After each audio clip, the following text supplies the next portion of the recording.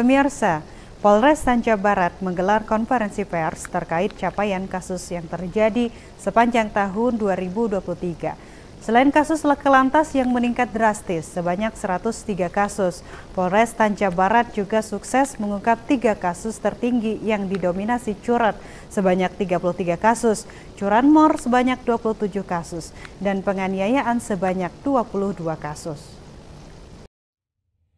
31 Desember 2023 Minggu sore, Polres Tanja Barat menggelar konferensi pers akhir tahun atau rilis kasus selama tahun 2023 yang merupakan kegiatan rutin dilakukan setiap tahunnya.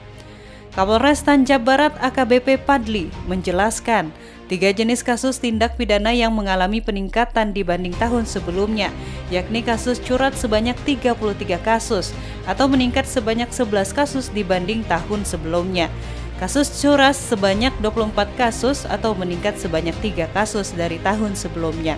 Dan kasus curanmor sebanyak 22 kasus atau menurun sebanyak 5 kasus dibanding yang terjadi pada tahun 2022.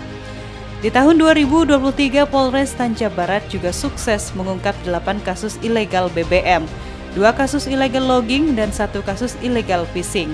Sepanjang tahun 2023, Polres Tanja Barat juga sukses menangani gangguan Kamtipnas, di antaranya penyelesaian kasus tindak pidana konvensional sebanyak 199 kasus atau mengalami peningkatan sebesar 53,07 persen jika dibanding ungkap kasus serupa yang terjadi pada tahun 2022. Penyelesaian kasus mengalami peningkatan dari target yang dibebankan. Bahkan, ada yang meningkat lebih dari 100% termasuk penyelesaian kasus tahun sebelumnya. Sampaikan kepada rekan sekalian, yang pertama berkaitan dengan anep situasi gangguan Kaptimas selama satu tahun di tahun 2023 ini jumlah tidak pidana yang terjadi selama satu tahun sebanyak 168 kasus. Dengan penyelesaian tidak pidana sebanyak 199 jadi kalau kita lihat jumlah dengan penyelesaian ini lebih tinggi penyelesaian Alhamdulillah di tahun 2023 ini beberapa tunggakan kasus yang ada di tahun 2022 kami bisa selesaikan di tahun 2023 sehingga capaian atau persentase penyelesaian kasusnya kurang lebih sekitar 118,40 persen. Selanjutnya apabila kami bandingkan antara jumlah tidak pidana yang terjadi di tahun 2022 dengan 2023, alhamdulillah terjadi penurunan tahun 2022 sebanyak 179 Alhamdulillah di tahun 2023 sebanyak 168 dengan tren penurunan sebanyak 11 kasus atau persentase 6,14 persen. Sedangkan untuk penyelesaian tidak pidana sebaliknya mengalami kenaikan dari 133 di tahun 2022 menjadi 199 di tahun 2023 dengan tren kenaikan 66 kasus atau 49,62 persen.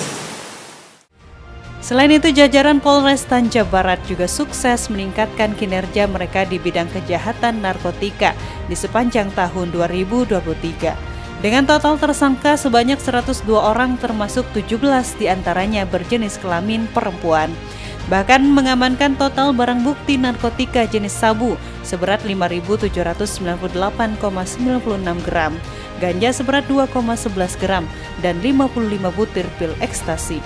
Secara ekonomis jika dirupiahkan totalnya sebanyak 7,554 miliar rupiah dengan total jiwa yang berhasil terselamatkan sebanyak 29.238 jiwa. Tindak pidana yang terjadi di tahun 2023 ini tiga kasus yang menduduki peringkat tertinggi. Yang pertama adalah kasus curat, yaitu 33 kasus. Kemudian yang kedua curanmor, 27 kasus dan penganiayaan sebanyak 22 kasus.